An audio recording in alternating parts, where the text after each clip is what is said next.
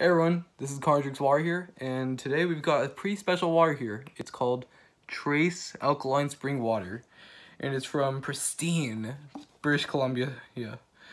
Um, it doesn't say where in British Columbia, or at least I haven't seen where it says it's from in British Columbia. Oh, never mind, it says it's from uh, Bridesville in British Columbia.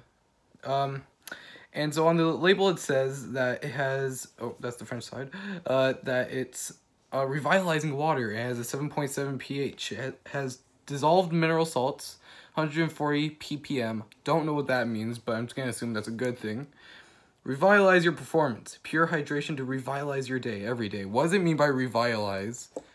Is that even a real word? Yeah, I know that's a real word, but it doesn't sound like it means anything. It just, I'm pretty sure that's just marketing. Um, it shows the pH scale here, 7.7.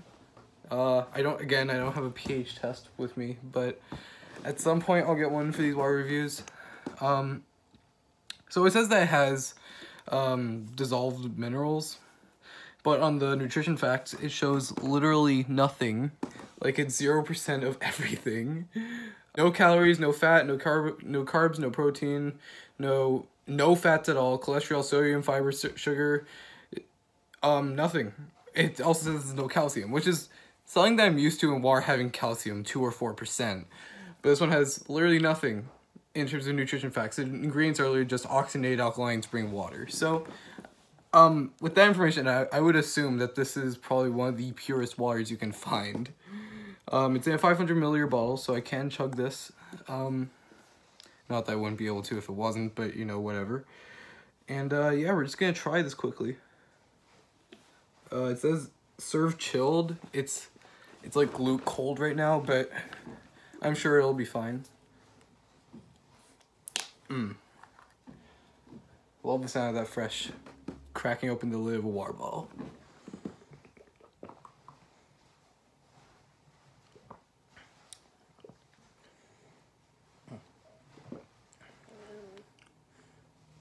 Hmm.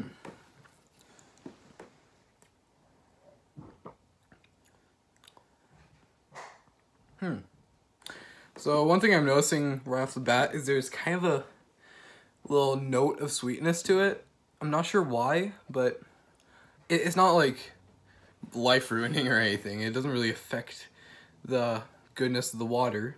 Which, by the way, should probably mention, it kind of uh, gives my mouth, my tongue, um, I said in my previous review that the Icelandic glacial spring water um, left my mouth like my tongue still wet, while the Acqua Panna left it like really dry, like I hadn't even drank it.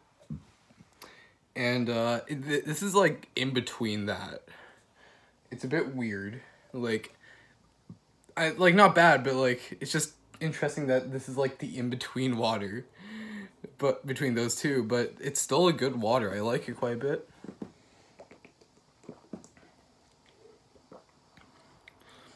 But yeah, it's super pure. It does have you. It's noticeable. Like on the roof of my tongue, the sweet aftertaste. You can definitely feel like taste that. But it's a pretty good water. Um, I didn't have anything to compare this with, so this isn't a comparison. This is just really a review of this water. But um, yeah, it's a good water.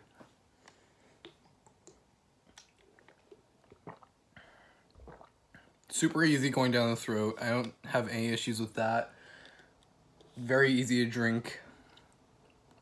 It's a and it is a very clean water, so my suspicion was right that it having no nutrition facts actually helps a lot with the taste. Um, so yeah, this is a thumbs up for me, and I I recommend you grab this water because it's quite good. Um, it was 149 at the grocery store Canadian, so probably a little less American, even though you might not find this in American grocery stores because uh, you know a BC water, to can Canadian water, but it's good. If you can find it, I'd suggest you try it out because it's good. It'll revitalize your performance and revitalize your entire day, apparently. Um, whatever that means. Anyways, uh, thank you for watching.